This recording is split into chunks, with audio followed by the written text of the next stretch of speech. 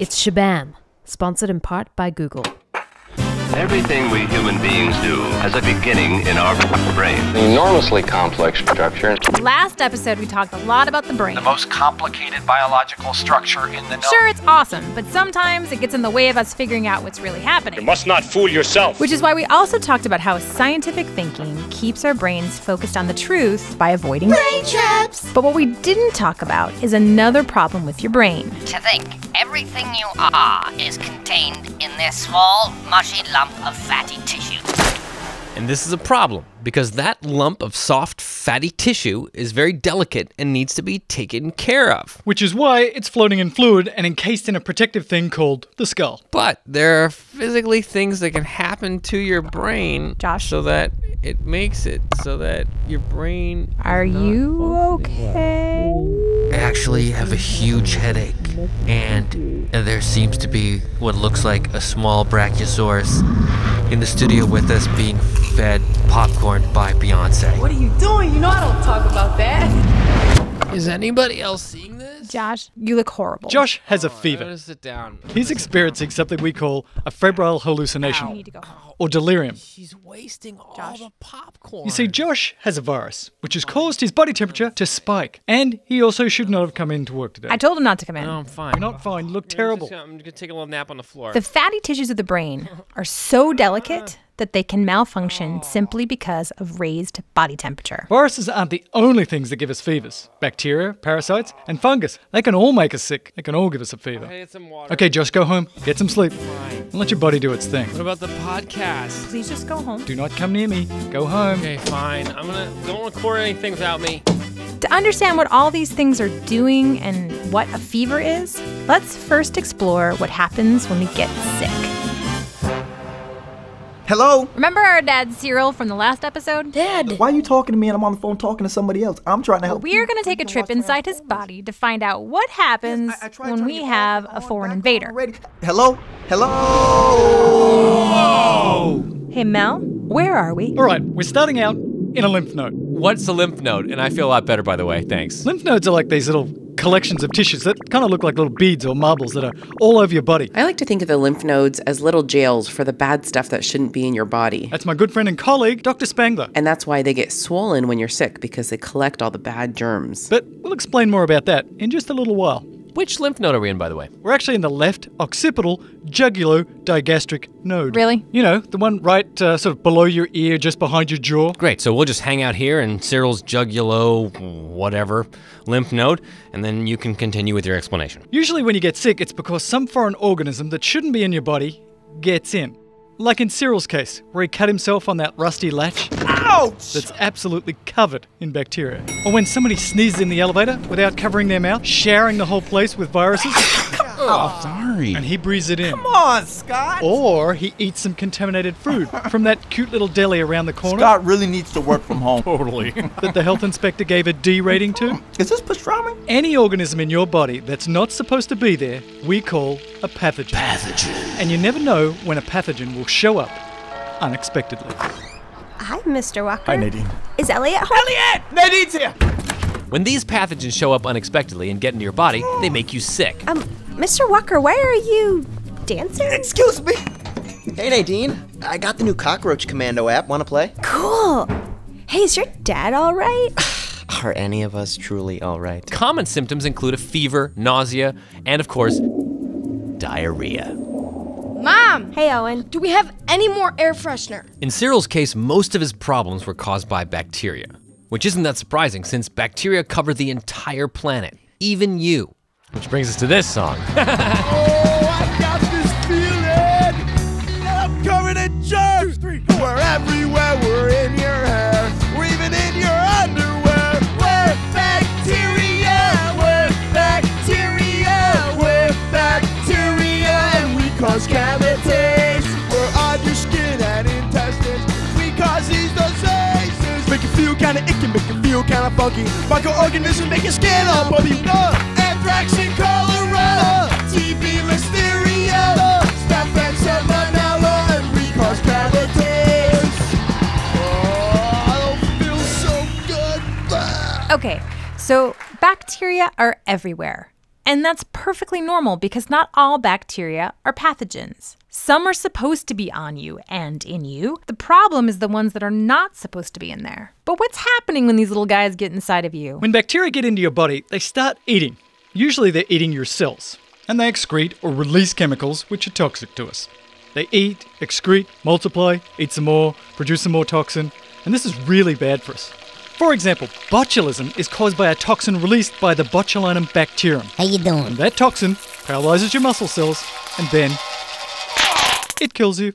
Most pathogens are doing some version of the same thing. Parasites, fungus, and bacteria are all just organisms that eat, excrete, and reproduce. We're basically just a food source for them. Hey, we're just trying to survive. We just get a little bite to eat wherever we can and multiply. Oh, and then there are viruses. Viruses are a little different. They don't need food because they don't multiply like other organisms. What they do is actually ingenious. You have been infected, and now you will make more of us. They hijack your cells and get them to do the work. You see, every cell in your body has a copy of a long stringy molecule called DNA. And DNA is often called the code of life. DNA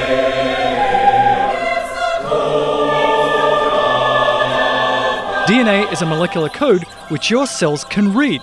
Wait a minute, that sounds like the barcode scanner at the supermarket. Yeah, You it's exactly like that, except way more complex. And this code tells a cell what kind of a cell it is. I'm a heart cell, part of the heart. I'm a lung cell. I'm part of the lung. I'm the kidney cell. I just And what it should be doing. reabsorbing some nutrients, making pee, pumping it up, pumping the blood, part of the heart.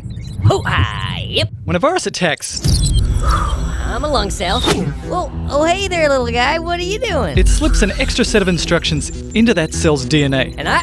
Oh, wait. New instructions. telling that cell, hey, stop what you're doing, and Make more of us. Let's uh. Okay, let's just make this thing. and that's exactly what the cell does. Okay. So now the cell is just making viruses I don't really know why I'm doing this. and filling up Uh, what's going on here? until it finally explodes with all those viruses, sending them all around the body to infect other cells. And the process starts again, replicating viruses, cell filling up, exploding, spreading more virus.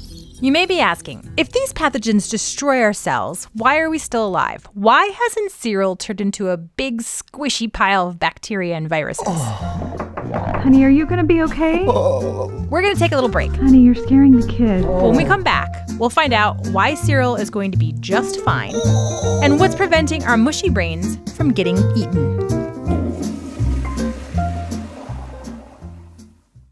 Hey, this is Dr. Jess Mason with a quick aside. Earlier, they mentioned the bacteria that causes botulism, called Clostridium botulinum. How you doing? And how it produces a toxin that can kill you by paralyzing your muscle cells. Well, this is actually the same toxin that people get injected into their faces, and that's called Botox. In really small micro amounts injected into targeted muscle cells, it doesn't kill you. It just paralyzes those muscles for about six months, which makes the wrinkles relax. For patients who get Botox, like Gina's friend Gail, it makes the wrinkles temporarily go away. Botox is like a miracle. I look at least 20 years younger. Are you smiling right now? Uh huh.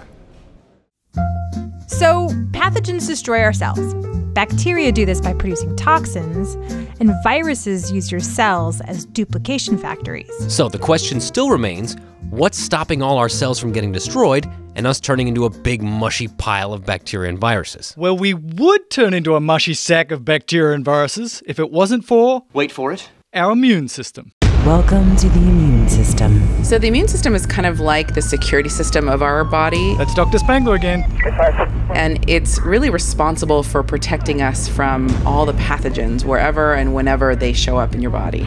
Stay alert, everybody. And here's how it works it basically has three levels of defenses. You are now at level one. So, the environment that we live in is really full of things that shouldn't be inside of us. And so, there needs to be a separation from the outside, dirty world that we live in. And that's why your insides are wrapped in this tough organic layer. Like a skin bag? Exactly. And most of those pathogens that live in the environment are kept out by the skin. And that's why when something pierces the skin, infection is such a big concern. Or if large parts of your skin get damaged, like when you get burned because that outer barrier is now violated open. So, level one is the awesome protective shield called the skin. Level 2. So, the next layer of defense is level two. It's called the innate immune system, and it's like having a bunch of cellular cops that are on patrol. And these cells are constantly roaming around the body, taking out intruders. Excuse me, who are you? Who, me? I'm just a harmless single bacterium. Whoops. Get out of here. We're harmless. Somebody eat these guys. So, remember that rusty metal that cut Cyril's arm? Yes, I do. It had bad bacteria on it that pierced the skin. And as soon as that happens, the level 2 cells go straight to the arm to get rid of the bacteria that's there. Whoa, what are you doing? Uh, Nothing. Hey, take them out, boys. Our bodies are constantly being invaded by bacteria and viruses, but we don't notice because level 2 is doing its job. Anyway, that's level 2. Always on, but invisible. You are now at level 3. Then there's level 3, and they're like the SWAT team of the immune system. We don't come out for just nothing. It's called the adaptive immune system. And level 3 really only gets activated when there's a really big problem, like breathing in a disgusting virus Ah, come on, Scott. Let's go, boys. We got a job to do. or eating a big chunk of bacteria from a sandwich. So when these pathogens come in and they overwhelm level 2, There's too many of them. that's when level 3 kicks in. Don't worry, boys. We got your back.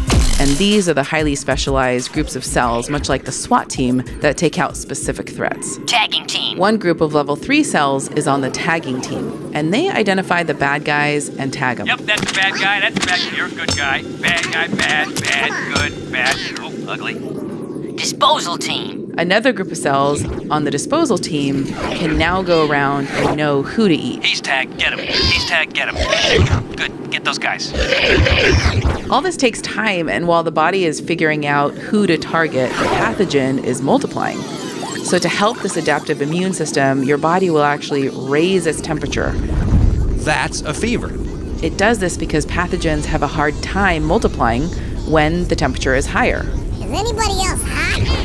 So, once your body fights off a particular disease, another set of cells Memory team. on the memory team keep a record of that pathogen. Okay, that one was a doozy. Let's remember that one. Hmm? So, the next time it comes into your body, there's no wasted time, and the threat gets eliminated before you have a chance to get sick. Okay, so our immune system does a great job of fighting off infection, and that protects us and our brains. We're gonna take a little break, and when we come back, we're gonna look at how we can help our bodies avoid the fight in the first place.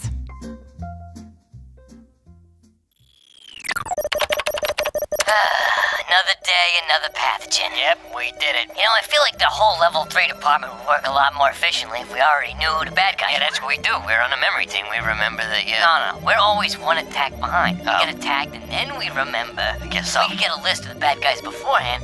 We wouldn't have to wait until we got attacked oh. to know who's bad and who's good. I don't think that list exists. Yeah, I know it doesn't exist. I say it would be great if it did exist. No, what we need is like a dummy bad guy that we can practice on so the first attack air quotes, is more like a scrimmage. Then we'd remember how to fight them when the real bad guys show up. That's dumb. Who's gonna do that? Oh, that's dumb? No, you're talking about getting less human. So, before the break, we were talking about how good our body is at fighting off diseases. Problem is, the process of fighting off a pathogen isn't always without consequences for your body. The polio virus, for example, can leave you paralyzed because the virus targets nerve cells. And measles, which many people think is like getting over the chickenpox, is actually way worse. Measles virus was also, prior to vaccine introduction, the most common cause of acquired blindness. That's Bill Moss. Yes, my name is William Moss. I am a professor of epidemiology at the Johns Hopkins Bloomberg School of Public Health. And he's done a lot of work studying measles. Measles increases the risk of children getting and dying from pneumonia and diarrhea for weeks to months, perhaps even years following measles. Measles basically beats the shizzle out of your immune system, which leaves you more vulnerable to other diseases. Polio leaves you paralyzed, Which is why, when Cyril was a baby, he got a whole bunch of vaccination shots with dummy polio and dummy measles. And we call them dummy viruses because they look like the real thing to your body, but they don't actually cause polio or measles. Once they enter his system, Bad guy. they get stored by the memory team. Okay, uh, polio. How do you spell polio? P-olio. Oh, yeah. Thanks. And if the real polio or measles virus shows up, well, his level 3 cells, they're ready. You have been They're prepared, We've been waiting for you.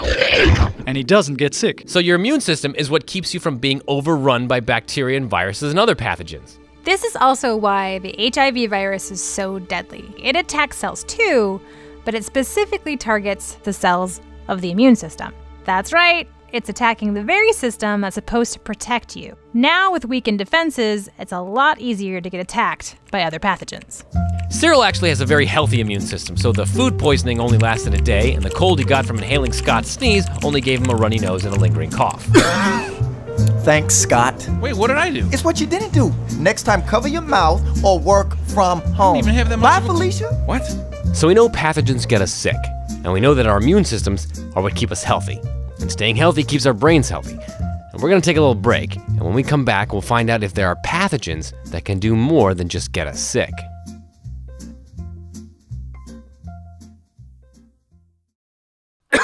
and now a short word from our sponsor, Luigi and Dino's pasta that looks like bacteria, and they can explain it to you better than I can. Let me show you. Let me show you. We make a pasta that look like a bacteria. Okay, we got a little balls called a cockay. Cockay. We got a little rods called a bacilli. Bacilli. Spirillum is a little spirally, and a little string of corkscrews called a spirochetti. Spirochetti. Vibrio is a little little squishy comma. Vibrio is like a squishy comma. It's a great addition to any meal. You eating a bacteria anyway. Why not eat a pasta that look like yeah, like Luigi, they get the point. They get the point, okay? So buy it and buy the pasta that look like a bacteria because you eat a bacteria anyway, okay? Okay, in the last section, we talked about how pathogens get us sick. But are there pathogens that can do more than make us sick? Well, maybe the best way of exploring this question is by engineering our own infectious disease. But let's make it fun, shall we? Yep, but let's do it. Let's make it fun. There is a ton of zombie movies out there. So many, in fact, that if you don't know what a zombie is, please email us immediately and explain how this is possible. For the person who's never heard of zombies and yet listens to podcasts, this explanation is for you. A zombie. A stereotypical zombie is a dead person who now mindlessly walks around seeking to eat human flesh. Are these people alive or dead? We don't know. Now, this is usually caused by some pathogen that gets spread through biting. Were you bitten? And after you turn into a zombie, you sound like this. So here's what we're going to do. We're going to take our little fictional podcast family and drop them into the middle of a zombie apocalypse that we're about to engineer. Wait. What? what? And then we're going to sit back We're a family. and see what happens. Doctors are supposed to help people. But what kind of pathogen should it be? Infected with what? Josh? Wendy? Greg Moran? I'm Greg Moran. I'm an emergency physician. I'm the chief of the emergency department at Olive View UCLA Medical Center, and I'm also trained in infectious diseases. So that's my particular interest is infections. Let's jump right in. We've already established some zombie characteristics like they used to be human and now they attack humans, usually by biting them. Charlie! Which means, first off, we're looking for a pathogen that changes human behavior, and that means it has to affect the brain. One of the really coolest ones is the zombie ant fungus.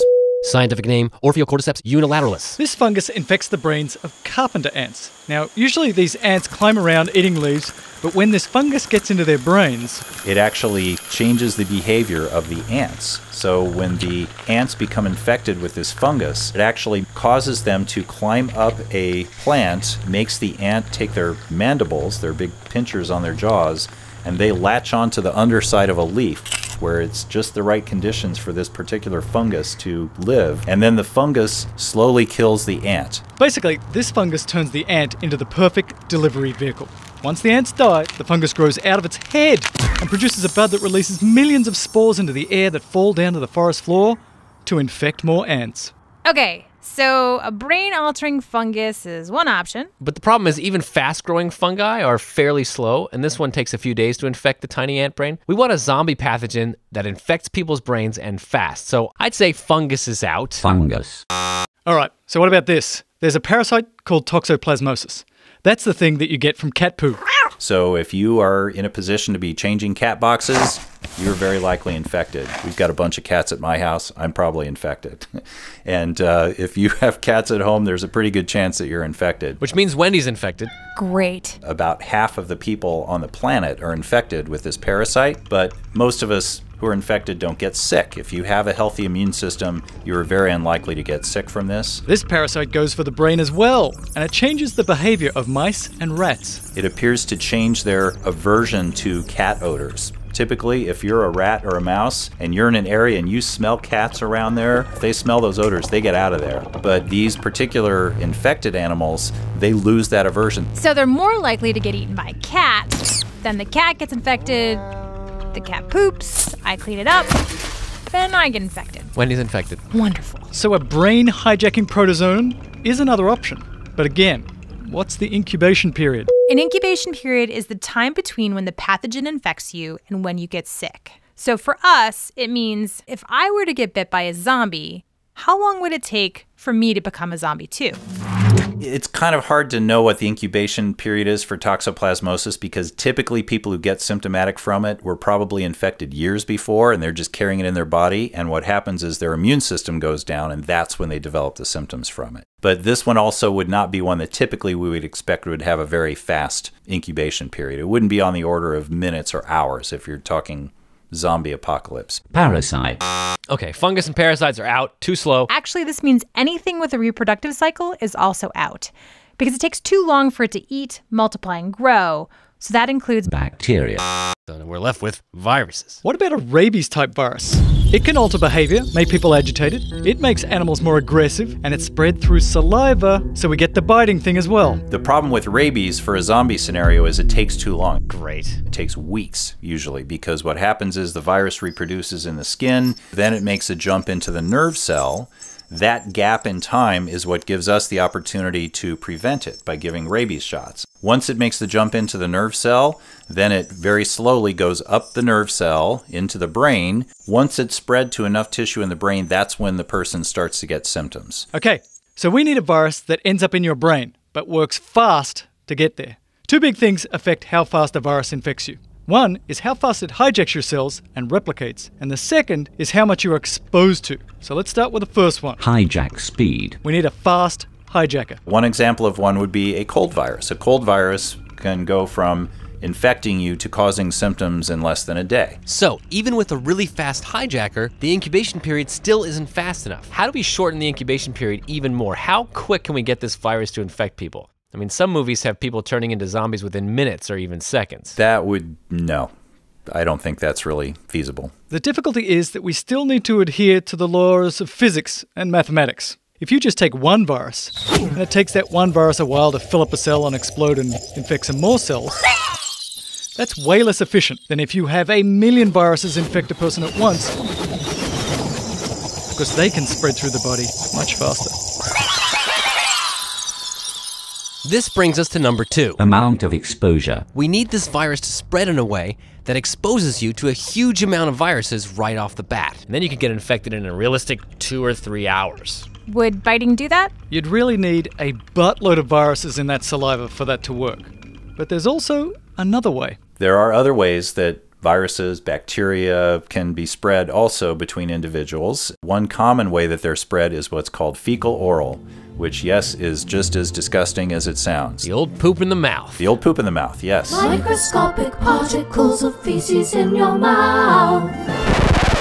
You would be surprised at how often we are exposed to microscopic levels of poop in our daily lives, and a lot of infections are actually spread this way. So, this virus would cause people to have massive, explosive diarrhea that gets all over the place. And that's not unrealistic. Ebola virus, once people are really sick, it's everywhere. It's huge amounts of virus throughout their body, and it makes them poop, it gives them diarrhea. Yeah, yeah, yeah. So, this virus would be just like that as well as making you really aggressive. So you'd be attacked by these aggressive zombies covered in virus-filled diarrhea. Yeah. Spectacular. Come on! And then we throw in some vomiting in there, and maybe if you're getting so when you're getting attacked by you're exposed to like a huge amount of viruses because these zombies would be dripping with like virus-filled vomit and diarrhea and Now you could have them all covered in festering pustules. Uh, you could have them vomiting blood and pooping blood and all that stuff. God, no. No. So no, cool. come on. It would be so cool. Not only are they trying to eat you, but they're just covered in poop and No, belly. It's no, so no, disgusting. no. It's the zombie The- vomit no. poop apocalypse we've Yeah. all been hoping for. There'd be like poop everywhere. It'd be like vomit I- on like the streets and on your doorknobs and like it. Yes, everywhere. you're, We you're are- actually selling us on the idea, by the way. New York, Paris, London, Sydney, just covered in stool and zombies, and it's just fantastic. Totally. That's what we should do. no. Oh, oh come on.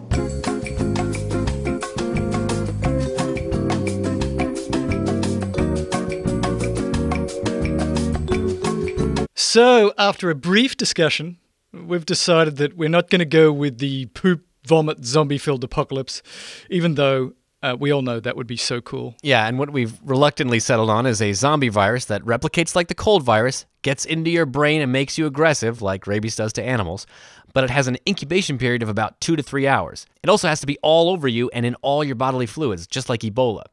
And it's mainly spread by biting, and that's just because when you get aggressive, you bite people. You want to eat them. Much better. What? Much better. We have jobs. Horrible. You shouldn't be listening to this What's right with now. you people. And plans. Yeah, you guys are fictional. Get out of here. Okay, now we need a name. How about uh, Zomboni? The Zomboni virus? How about Zomboni? Really? Like the machines that polish the ice skating rinks? Horrible. And a better name would be. I don't know, something realistic like the acute hyperaggression syndrome. Ahas? yeah. Ahas. Yeah. Okay, both of those are horrible. Ugh. All right, I have an idea. Okay. How about we name it after the Roman goddess of the night? And who is she? She's the mother of rabies, who's the goddess of madness. Nice. Okay. She's also the mother of Morse, the god of death. Okay. And Cupid, Oh my God. who's the god of love. That What is her name? Her name is Nox. Nox. N O X. The Knox virus. Nox virus. That works. I like it. I mean, it's not Zamboni. I like Zamboni the best. Okay, so we've named the virus. Let's get this epidemic started. Flight 564 making an emergency landing at LAX. but that's next time on Shabam.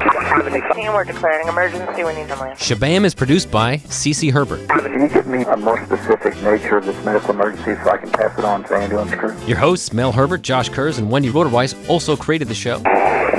Report of a sick passenger. Our recording engineer mixmaster is Bill Connor.